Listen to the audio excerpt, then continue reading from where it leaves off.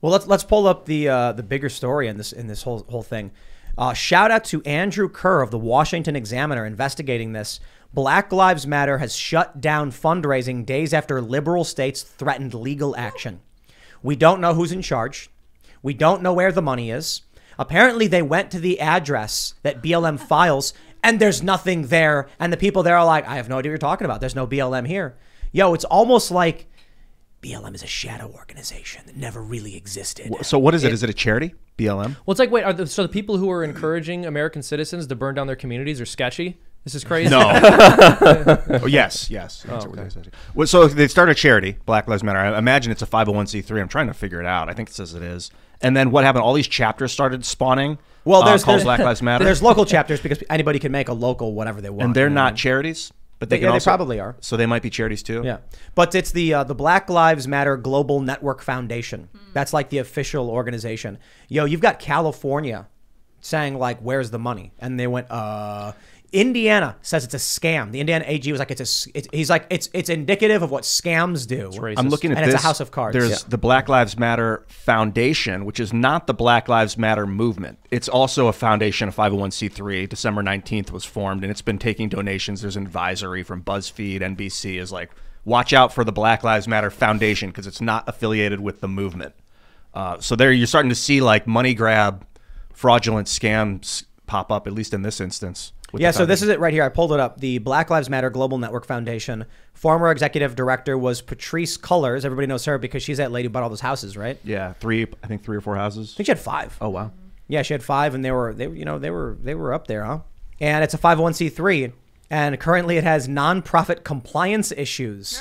Wow, man. Yeah, well, they're not disclosing the finances. They're not disclosing the numbers. They're supposed to have public records of what is happening with that money.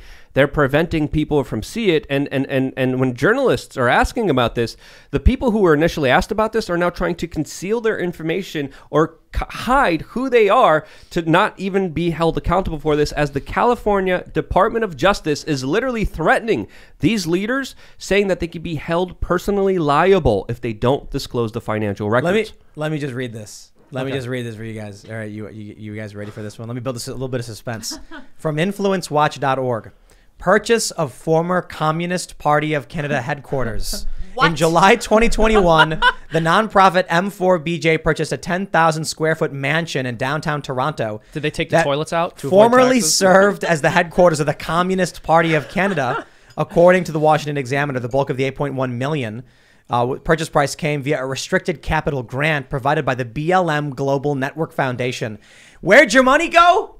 They took over the Communist Party headquarters in Toronto. Well, this is what I find so hilarious. Tim, earlier you were talking about the intelligentsia, and it is true, according to Pew Research, that people who have higher education or have been through higher education are more likely to support BLM. But one thing I find very interesting about that is if this is a movement which is more likely to be supported by really intelligent people, how did none of them figure out that it was such a scam?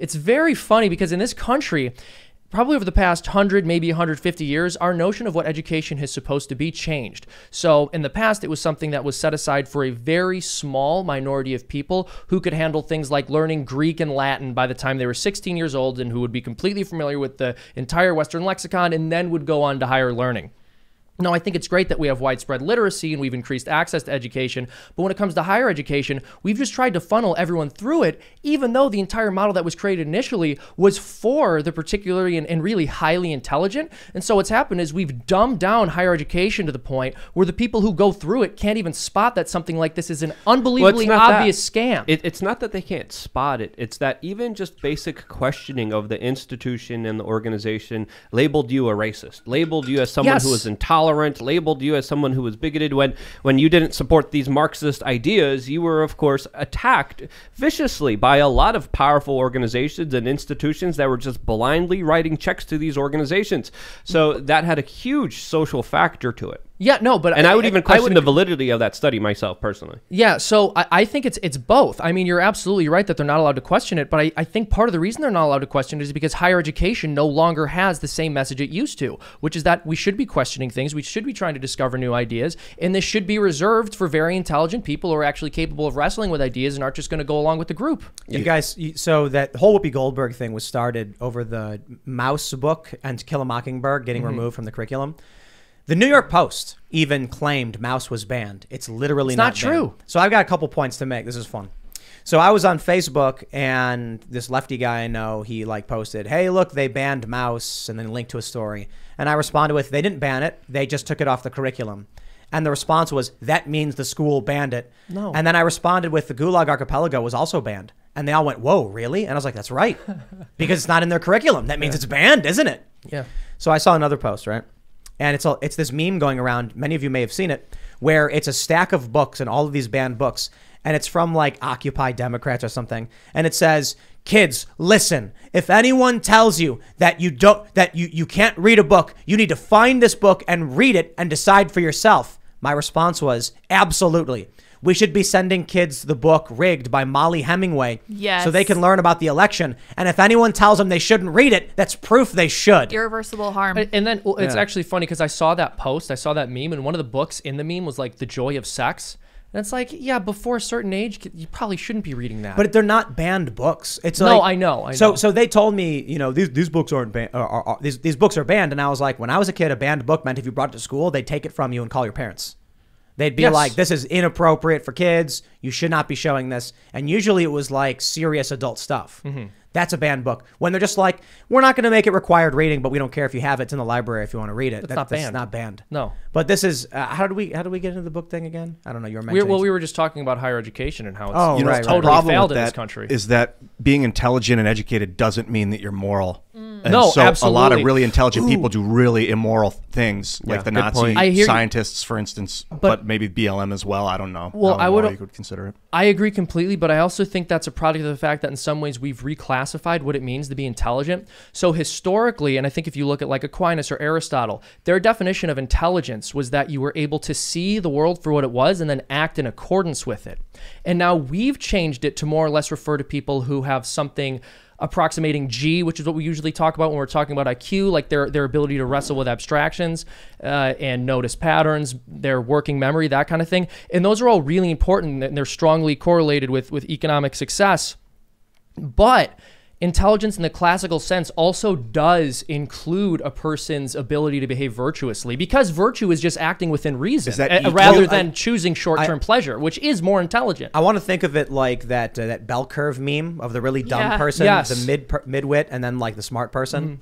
And it's like the really really dumb person understands, you know, that the, the, many of them, not all of them. There's the Dunning Kruger effect, but they're like, you know, in when you're smart, you can make things work and you can figure it out.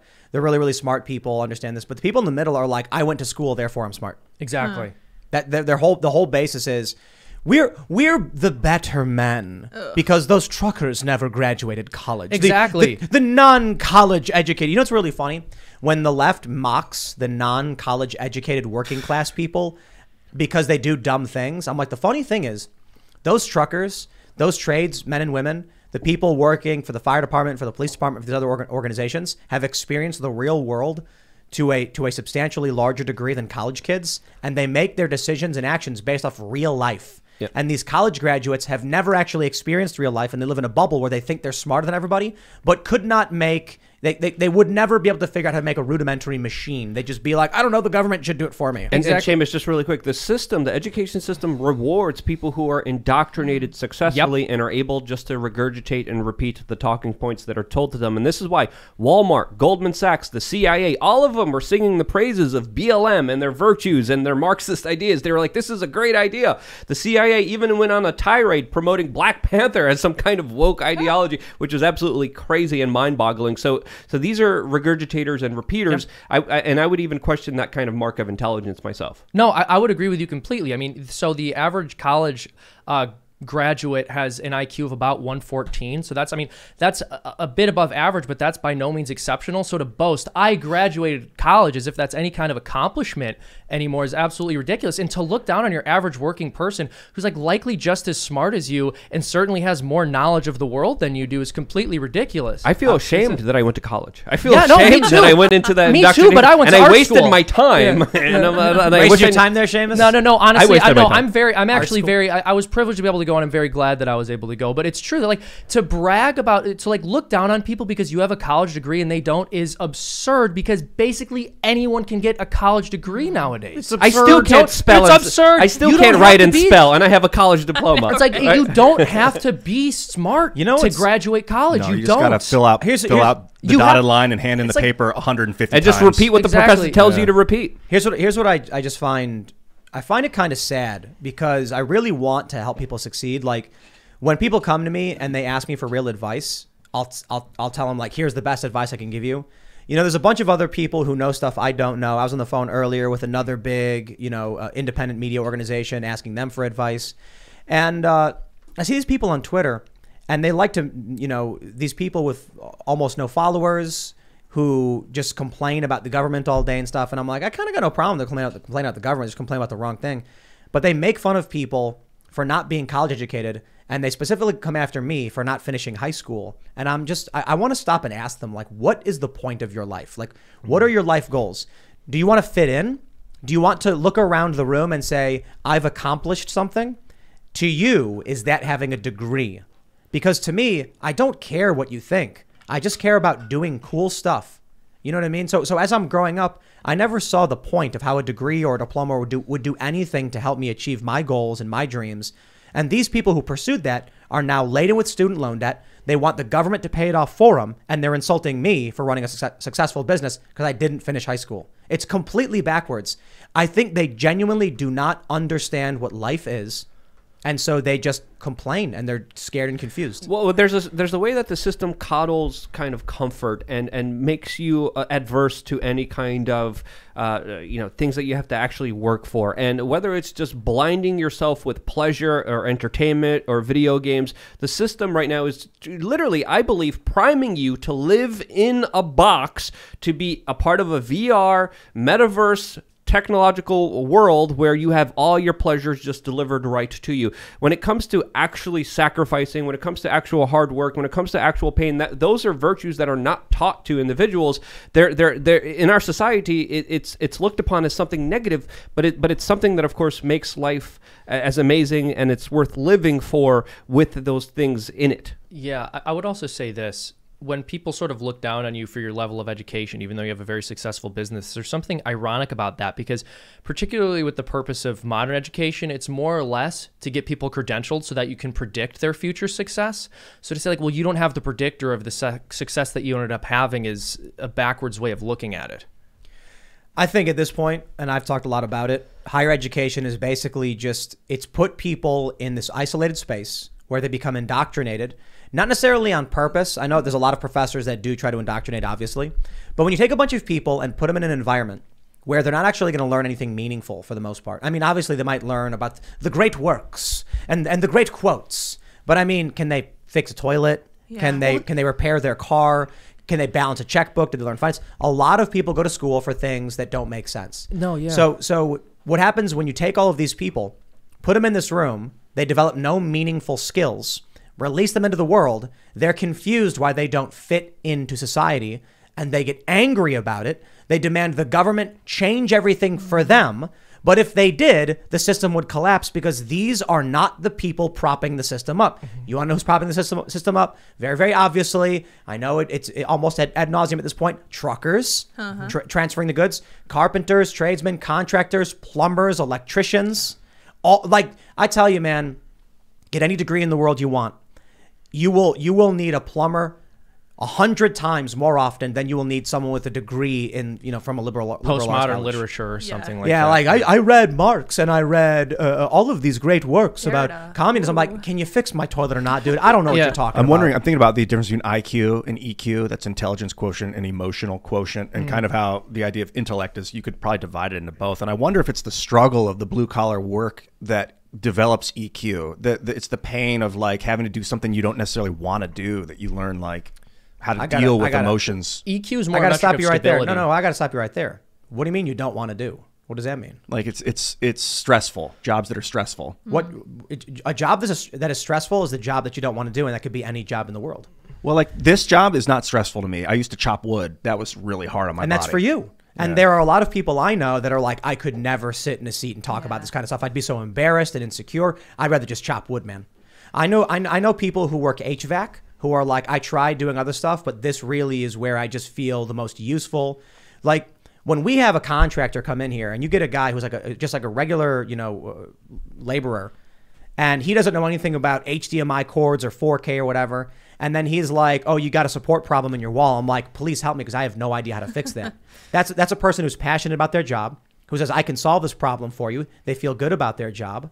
You- Any, anybody can feel good about their job. The issue is we're taking these young people, we're putting them in colleges and telling them to be astronauts and rock stars. Y'all should have watched Fight Club hmm. because Tyler Durden told you right then that's not what, what you're going to be. Learn something meaningful. Mike Rowe says it. I want to push back a little bit. He said, "Don't follow your passions. Follow what do you say? Follow your talents." No, he said, "Don't follow your passion. Let your passion follow you." Basically, take Yeah. your passion with you to whatever job I, you fi- Yes. find. Right. Yeah. Right, right, right. I think, you know, we have too many people who want to be acknowledged, but you, but it's like they, want to be on TV, they want to be influencers, they want all the likes. But you could just be a really, really great electrician, and then you go and work a job, and you're gonna have some family, and they're gonna be like, "You are a lifesaver." We Yeah. had no idea what the problem was. That the refrigerator went out, our food was spoiling. So he, he came in, snapped his fingers, and solved all of our problems. people Yeah, Lifesaver. says- just really quick, don't watch Fight Club if you're in China because the government there just edited Yeah, the I ending changed of the it. ending. That but second of all, uh, you know, life has a lot of ups and downs. It's a crazy ride, but they're trying to incentivize that. It's only going to be up, but again, you can't have the up if you don't have the down. But but this is why the World Economic Forum, a part of their 2030 pledge for not owning anything, not having any privacy, was also that you'll be happy. This is Mm-hmm. what the system uses in order to incentivize everyone because they make you miserable on purpose. They create the circumstances in your life where you are indebted, unhappy, unsatisfied, and a little worker bee slave for their establishment. And then they're like, but we'll give you all the happiness. Just give us more of your mm. liberty, more of your freedom, more of your responsibility. Don't you don't have to you don't have to sacrifice and work hard. Those are bad things. And when you teach people not to sacrifice, not to work hard, you literally create little lemmings. You create the perfect slaves that are going to be perfect for the establishment to have as their little peons to do whatever they wanted to, to do with because then you get rid of personal responsibility and people's internal strength. But let's let's let's have an honest conversation about this, right? When you have an ever increasing quality of life, when people today live better than, you know, the richest people 100 years ago, when your dental care is better than Rockefeller's, when your cancer treatment is better than Rockefeller's, and all the, you know, the the oil barons and the robber barons or whatever. At a certain point, that kind of increased uh, quality of life it can't sustain itself. So what i think happens is you end up with these these millennials who were told life will be better than it was than your, your the, the life your parents led your life will be better now it's not as good but it's all relative you know what i mean a hundred years ago, if you took a poor person and brought them into the average apartment with clean running water, hot water, air conditioning, and a refrigerator, they'd be like, "You must be a billionaire!" Like, wow, or a millionaire because of inflation. it wasn't as high that back then, but they would think you were like a king. It's like, no, no, no. This is just everybody gets it. So what's happening with the global elites is they're trying to take all that away from you, so they can trickle it back really slowly. It's the idea that Harry Tubman said. I, uh, Harry Tubman said, "I freed many slaves. I would have freed many more if only they knew they were slaves." They take away all of these luxuries from you. Then, once you have nothing, they'll make you happy by giving you 0.1 percent back. And it's it's worse than just It's taking what away they're luxuries. doing right now. Yeah, th- well, this is why they talk about population control all the time. Sorry, Ian, you have a Oh, point. I, I don't. I think not only do they re- re- relieve you of your luxuries, but they'll induce suffering and then remove a little bit of suffering and call it happiness. but it's relative. So, COVID happens. They destroy everyone's business. They make everybody uncomfortable and angry. People start losing their minds. Crime skyrockets.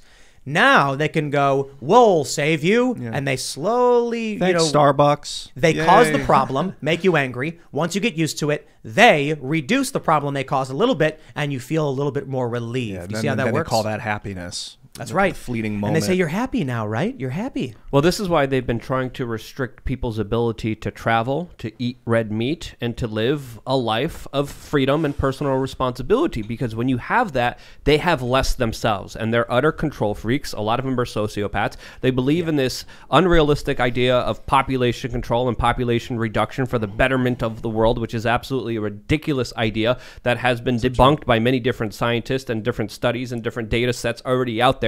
But they still keep pushing it as if if it's the norm. And now they're trying to push an agenda where we destroy the family unit because when we destroy the family unit, there's going to be a lot less people out there, which means a lot more resources for the billionaire class, a lot less for everyone else because they're not reproducing. I was kind of thinking that um, with with the current economic trajectory we're on for globally, with China set to take over, maybe a lot of these elites have just said, you know, wh- why resist it? Who cares who's in charge as long as they protect themselves and their assets? And so it kind of feels, in many ways, that there, this may be good for Americans in the long run. Bad in a lot of ways, but good in a lot of ways that we get our freedoms, we, we, we restore you know balance in this country. But China does take over and then it asserts you know serious authority over the rest of the planet. But I kind of feel like it's possible that trajectory for China's rampant growth is inevitable. And that's why it's like we're kind of just spinning our wheels here. You know, what I, I I see I it don't know. differently. I- yeah. Just, just really. I just really wanted to make this point because it, it just brought so many important aspects that I really just want to talk about really quickly.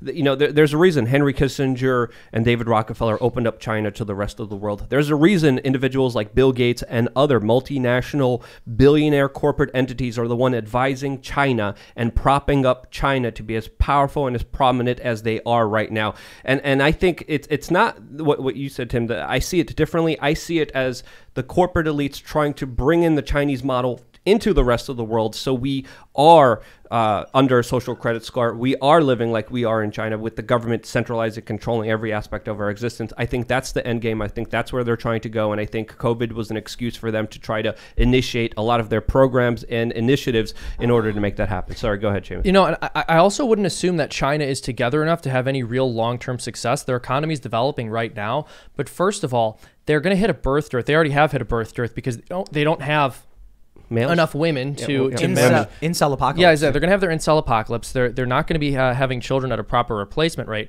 And you've sort of mentioned how that could be grounds for some kind of conquest for them. But there's only so far you can go with that. I genuinely believe that the more comfortable China becomes, the more their citizenry is going to become like our own in many ways. And I- I'm referring specifically to the unfortunate aspects of our citizenry. They're not going to be as interested in virtue or self development or even in family. And I think their system's going to rot within.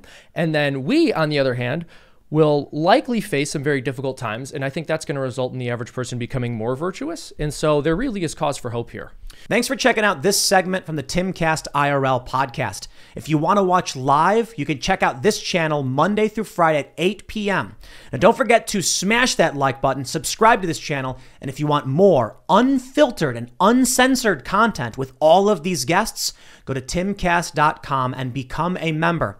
All of these guests you know and love in exclusive segments on our website where we are unrestricted in what we talk about, so you'll definitely not want to miss it. Thanks for hanging out. We'll see you all next time.